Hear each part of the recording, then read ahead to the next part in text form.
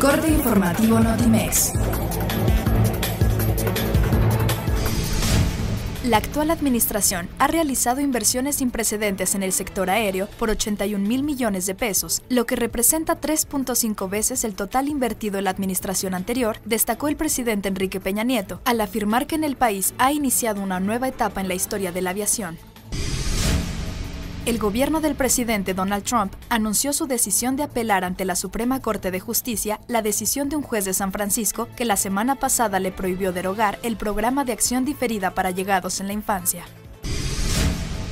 Luego de que el Departamento de Agricultura de Estados Unidos determinó que México está libre de fiebre porcina clásica, las 49 plantas tipo Inspección Federal de México ya pueden exportar carne de cerdo al mercado estadounidense. El titular de la Comisión Federal para la Protección contra Riesgos Sanitarios, Julio Sánchez y Tepos, informó que una vez que sea publicada en el Diario Oficial de la Federación la reglamentación para sembrar y cosechar marihuana con fines científicos y terapéuticos, se podrán elaborar y comercializar los primeros productos con cannabis en el país.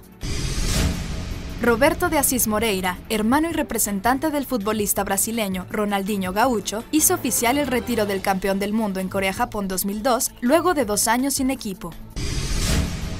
Con el espectáculo musical Imagination, que se presentará el 2 y 3 de febrero próximo en el Foro Coyoacanense de la Ciudad de México, la empresa Disney celebrará 80 años de brindar magia a su público de este país.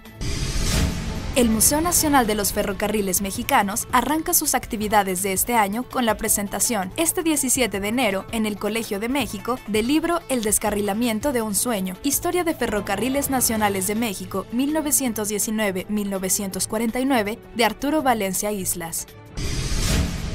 Notimex, Comunicación, Global.